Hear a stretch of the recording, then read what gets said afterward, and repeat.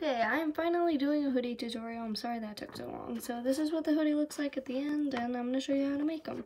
Okay, so this is the tutorial I followed. I'm going to try to make it sound a little bit more simple because I really struggled the first time. Step one is to cut out a 5 centimeter by 6 centimeter square.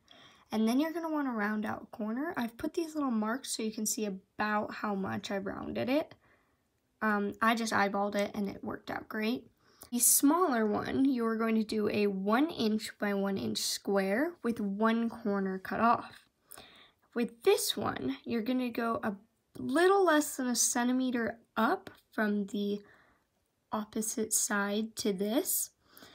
And that is where you're going to make a little cut by folding it, taking your scissors, and slitting it down the middle. Make sure you do not cut through all the way because that will ruin your whole thing. Okay, so what I have in here is a little bit of glue and water mixed together. So what you're going to do while you're making this is just apply it to all of the raw edges and that prevents fraying if you have a fraying fabric.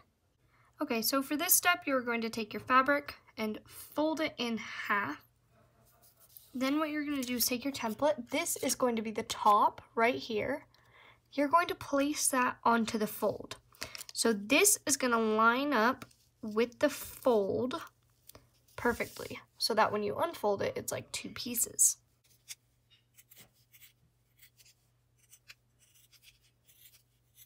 Then you're going to do the exact same thing, but with the smaller one. So what you're going to do is fold. This is going to be the top this time.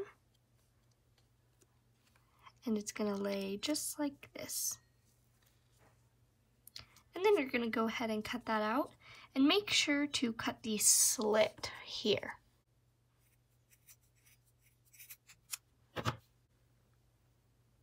This is the time that you're going to fray check all your edges, including the inner ones. Just make sure they don't stick together when drying. Okay, so the next step is to just fold a little bit over all the way across. Here's what mine looks like, and then you're just going to sew straight across. Okay, so the next step is to fold your fabric. Fold it in half so it looks just like your template from earlier. Make sure to have the bad side out. Start here with your thread and do a simple in and out weaving stitch until here. Do not tie it here because there's another really important step. Okay, so once you've got all this, you're gonna start doing loop stitches. Your, your thread is coming out this way. Take it to the opposite side, right? And put it in just like this and then pull your thread. And then there should be a little loop here. Straighten it out and then pull it to create a little loop around. And then you're going to keep doing this all the way down. Okay so this is what it should look like when it's done. I'm going to use some fray check around here and make sure that it doesn't come undone and also on the knots over here. Alright guys, so now you can kind of see the hood shape to it. And now what you are going to do is take it and at the bottom here, you're going to do a simple in and out stitch without locking your stitch at the bottom. Okay, so once you're done with that, you're just going to pull the string and gather the bottom. This is where your sleeve things come in. So this part is the hardest part and most confusing. You're going to keep it gathered, not all the way, but just most of the way. And you're going to put good side to good side. And you're basically going to take the V part and sew it like this, just using an in and out stitch.